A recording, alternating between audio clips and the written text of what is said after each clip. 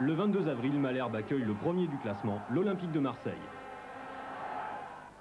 Les 20 premières minutes de la rencontre sont vides de toute occasion. Les Canets serrent bien les rangs en défense. La ligne arrière repousse sans ménagement les assauts marseillais. «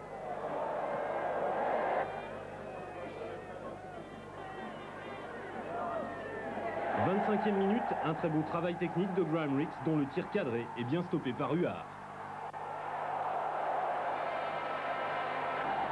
Un quart d'heure plus tard, Jean-Marie Lartigot sort pour la première fois son carton jaune contre Tis.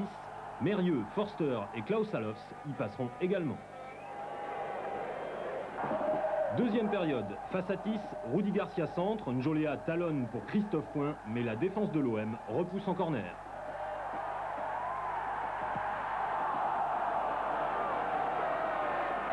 « 75e minute, demi-volée de Rix dans l'axe du but de Huard, mais au-dessus.